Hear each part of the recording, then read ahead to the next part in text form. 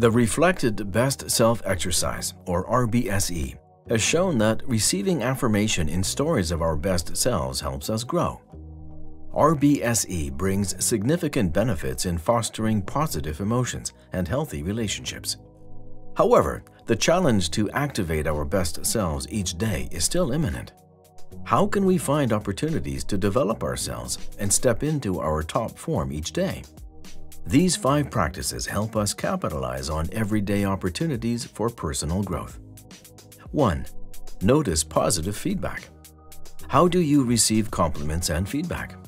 Do you feel uncomfortably immodest to lean into positive affirmation, but find yourself threatened by critical feedback? Negative comments can leave us jarred and emotional, eliciting a more memorable experience. In contrast, moments of positivity take much practice to savor and remember. Thus, it is important to intentionally create a physical or digital space to save any positive feedback received. This space lets us delight in it when we can and when we want to. Save that thank you note or positive comments from an evaluation so you can review and revisit it regularly. 2. Ask questions. Understanding positive feedback is essential in nurturing our best attributes.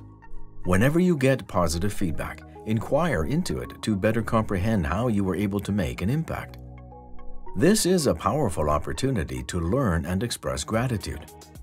Specific stories and situations unravel actionable praises to identify strengths and conditions for application. Take the initiative to set up a meeting with a mentor or superior to discuss more of your strengths. Make sure to keep the discussion concentrated on positive feedback so you can focus on developing and leveraging it for a more significant impact. 3. Study your successes. Learning from one's successes also requires a thorough evaluation by reviewing the tape, an expression often used by sports teams. A detailed comprehension of our work allows us to identify benchmarks and best practices for future undertakings. Looking back at the tape helps us make better future plays. A powerful technique for this would be journaling.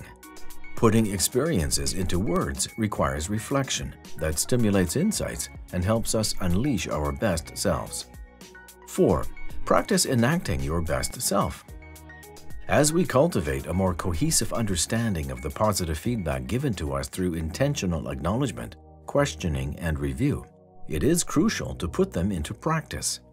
Create space in your work to bring your best self forward every day. Find roles and outlets to draw from your strengths and serve impactfully. We tend to feel most valuable at work when we can see our impact on others.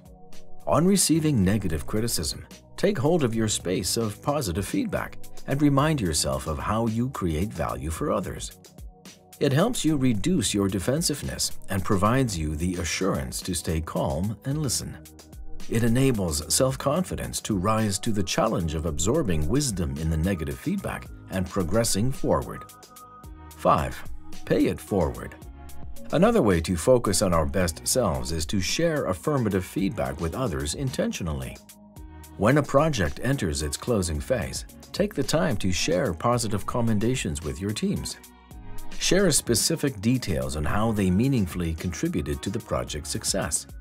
This invokes a culture of positivity that aids the entire team in bringing their best selves forward too. These practices to achieve best self-development begin at a personal level and overflow into others. The more we can recognize and captivate positive feedback, the more we can share this with others. Embracing our best selves is a journey of transformation that impacts our lives, relationships, and organizations. How will you embed these practices to facilitate organizational transformation?